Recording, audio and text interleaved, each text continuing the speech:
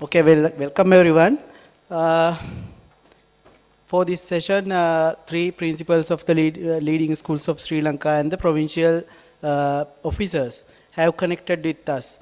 So, in the first round, I would like to uh, know, the audience will like to know your, uh, your, your, your, your institution, institution, institutional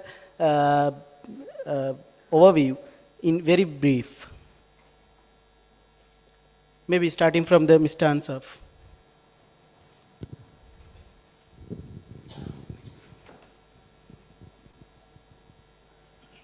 Yeah, I'm from a sub uh, regional level actually. Uh, province, we have nine provinces in Sri Lanka.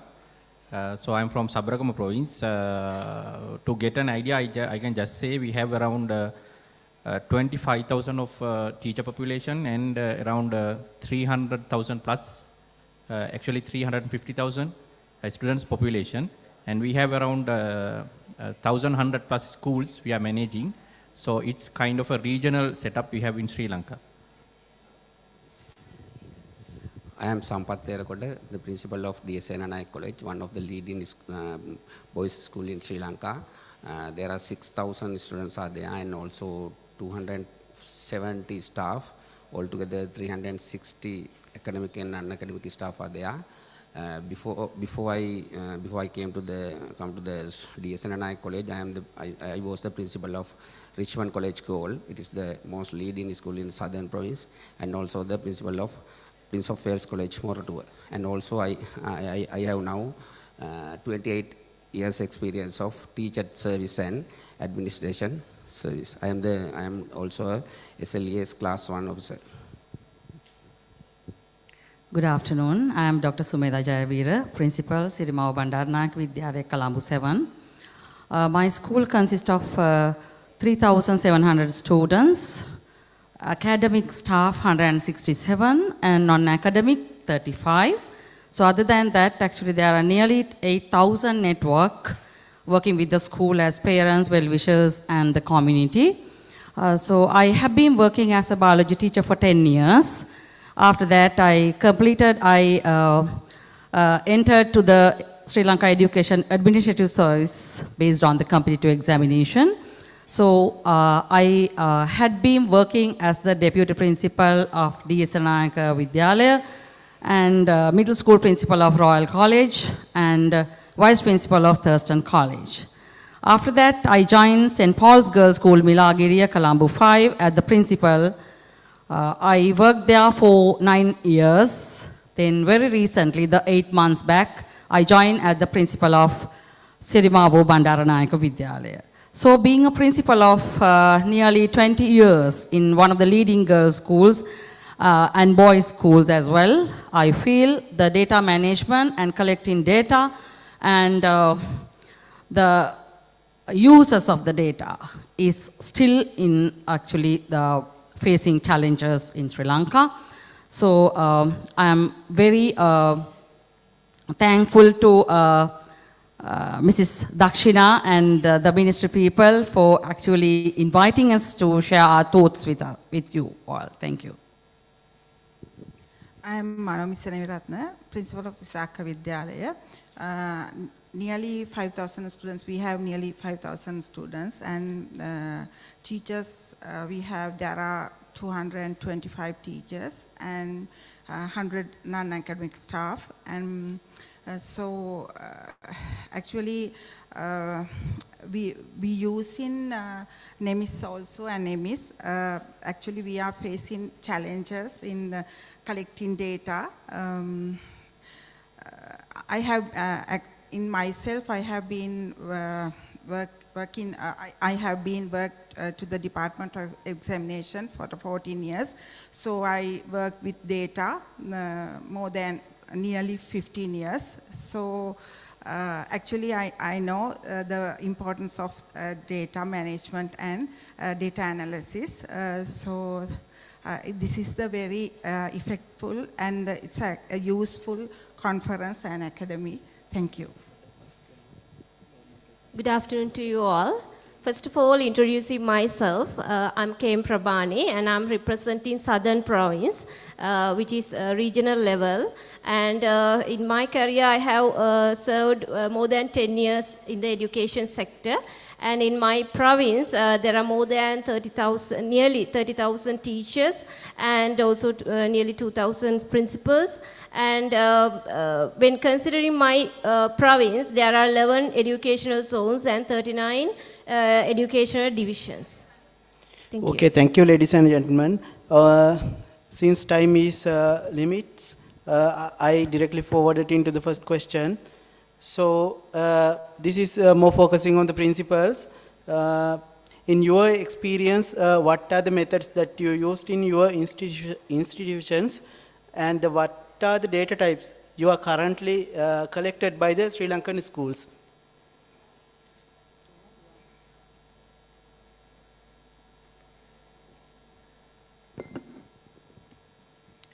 Actually, we are uh, in our school. We are using the uh, data in the students' uh, performances, then uh, term test data and the national examinations data.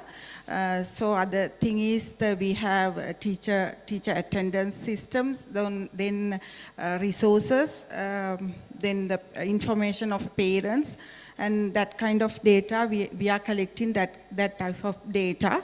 So we have uh, the attendance system and the other thing is uh, we are collecting uh, data regarding uh, students, uh, sport, the, the, they are doing extracurricular activities and these data we have.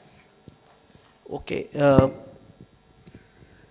Um, actually, in schools, we are collecting data because actually we want to get evidence-based decisions.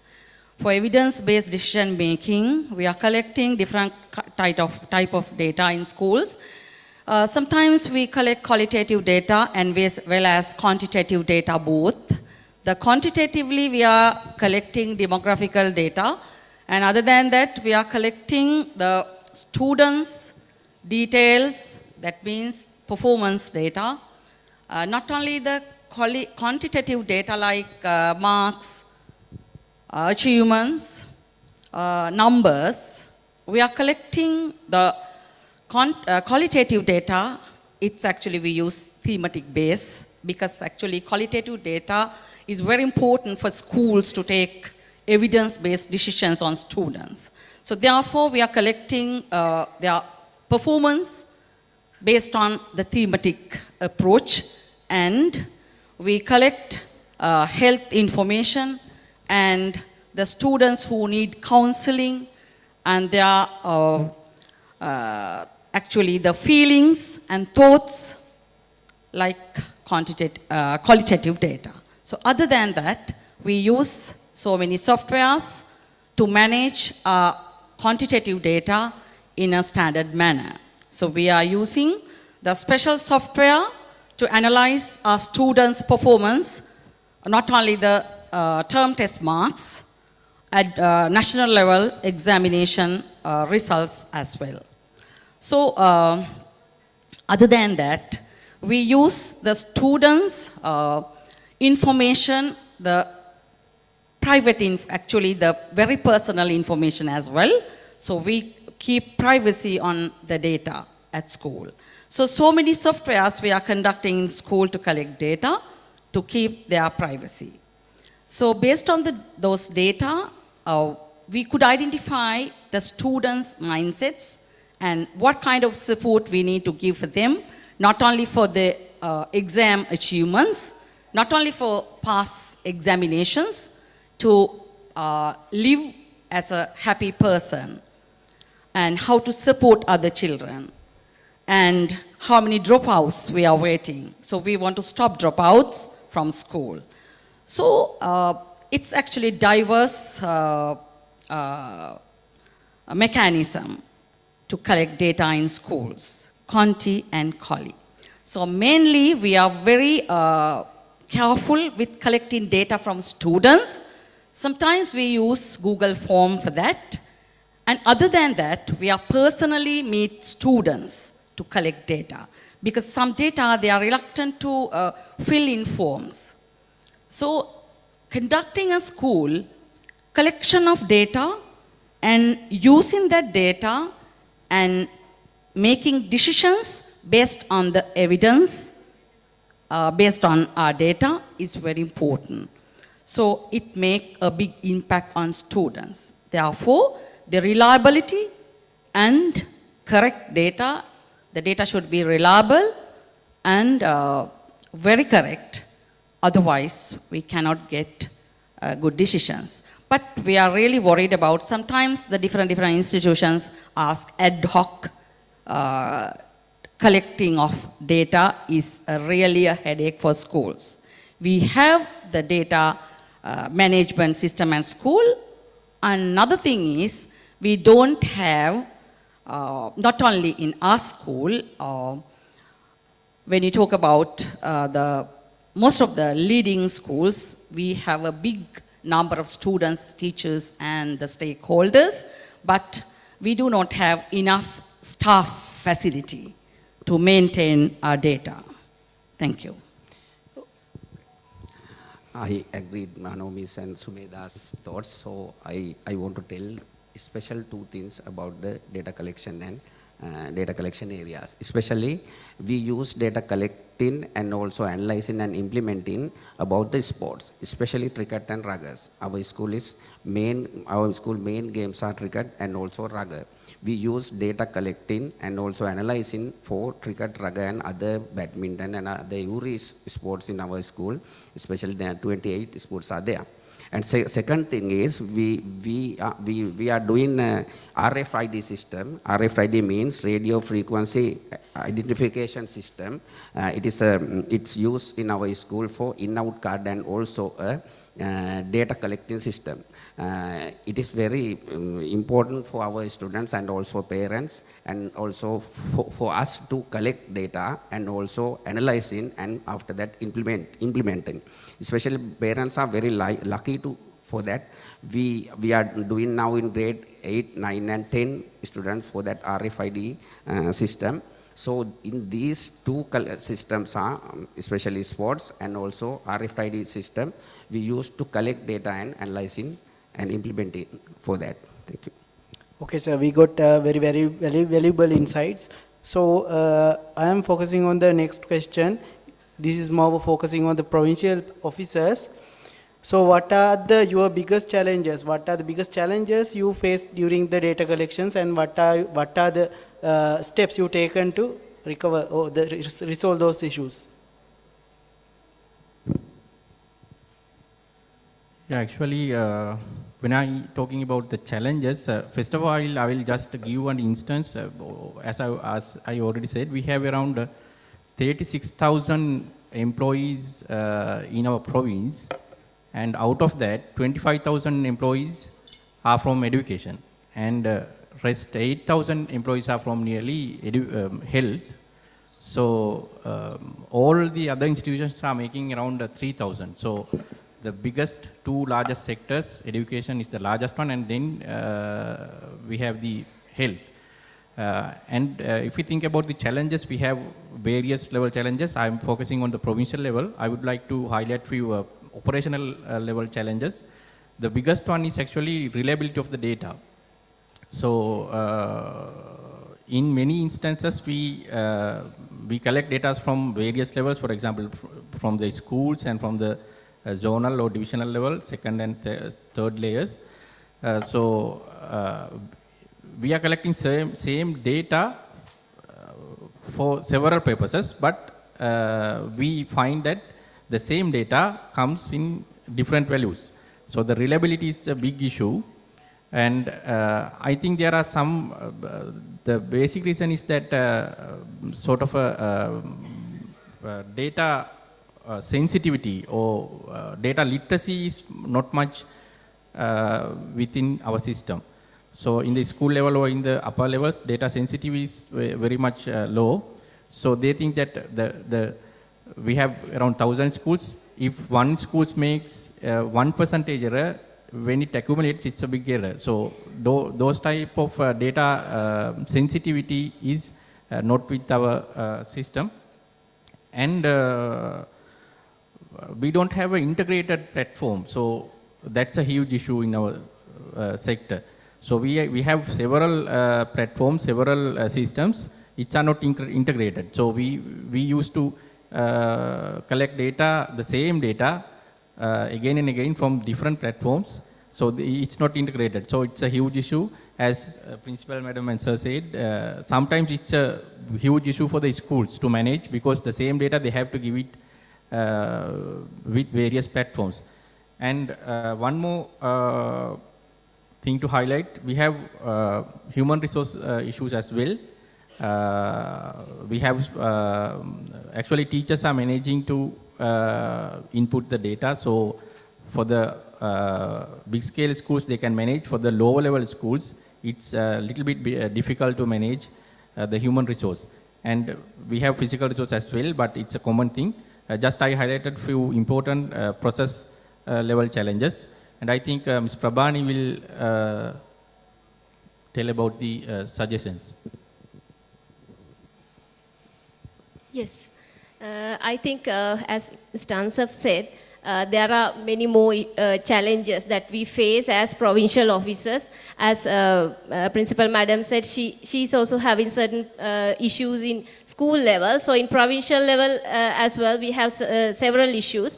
So actually, Mr. Gaseta wanted to get some certain suggestions to overcome the, such challenges. So I will take that. So um, the, uh, the major thing, what I tell is, we should have a proper plan actually. So there should be a very good architecture uh, when we uh, uh when we prepare actually databases and uh, systems. We should have a proper plan. So uh, first of all, we have to think that what are the data that we are going to collect and which scale and what are the insights that we are going to take and uh, how, uh, uh, what is the scale actually. So if we consider all these things, I think we can have a good uh, good data system. Otherwise, what we do is sometimes we do certain things in an ad hoc manner. So we don't have uh, such a proper plan and uh, uh in certain cases we uh, gather ad hoc data. So first of all, there should be a good plan and the, the other thing is the awareness actually. So all the stakeholders, uh, actually uh, the customers, as customers our teachers, uh, maybe uh, students, maybe other officers, they all should be aware of the uh, system that we are going to prepare and what we are going to do. So, and we have to aware them very well. So, and we have to get their feedback actually, their suggestions, uh, their views. We have to collect these things and we have to think and sometimes we can uh, refer uh, the certain uh, research data also. So we can have a good, uh, uh, I mean, uh, we, can, we should refer all these things and we should have a good discussion with all the stakeholders in the system. If we take our country, so all the ministry level, provincial level, uh, any other regional level and school level, we all should sit sit and discuss before we uh, prepare a data system. So uh, that is one concern. So if we do these things, as Mr. Ansaf said, uh, we can't avoid such uh, data duplications actually. So sometimes what we see is uh, in a provincial level certain uh, data requirements are there. They gather certain data and in national level they gather certain data. So we have to minimize, we have to mitigate actually these data duplication issues. And uh, the most important thing is actually what we should do is we have to uh, think about the data generating point.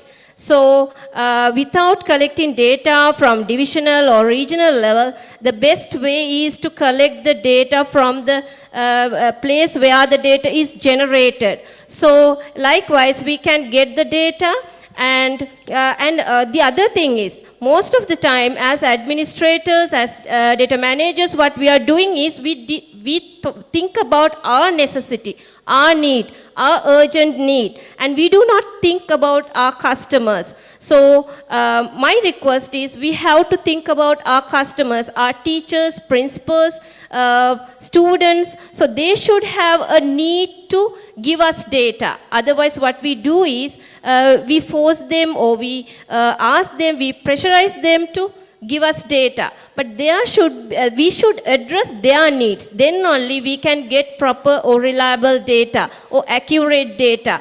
Uh, so, for an instance, if it is a school, uh, so that uh, the data that we collect should be useful for the students, uh, maybe their parents. So if when we collect term test marks, if the if the students can see their progress, uh, they, they can visualize the, that progress through our data system.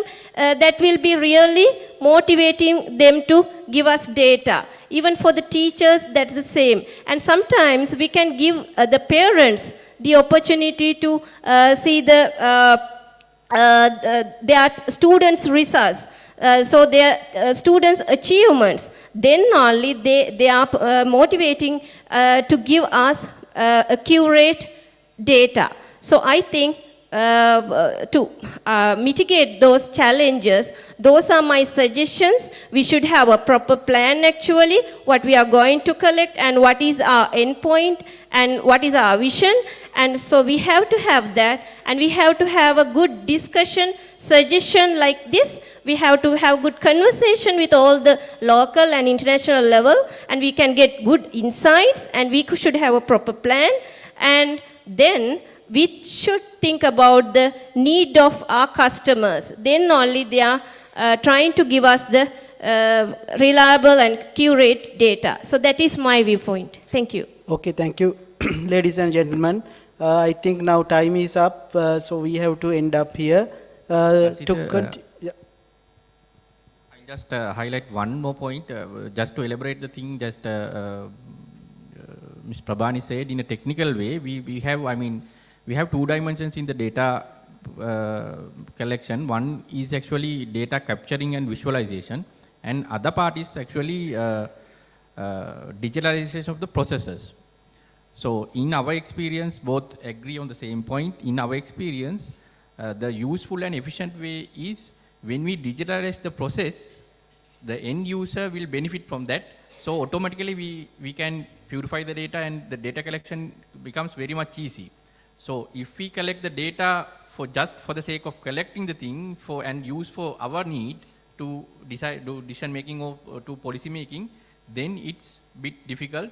So the end user thinks that it's it's a uh, issue for them. So we have to couple that uh, both two dimensions, data capture and visualization, and data uh, uh, process. Uh, I mean, uh, digitalizing the process. So if we can uh, couple that two dimensions, then uh, I think we can have a successful journey. Thank you. Okay, thank you very much. Uh, now I cordially invite Ms. Sophia to continue the session.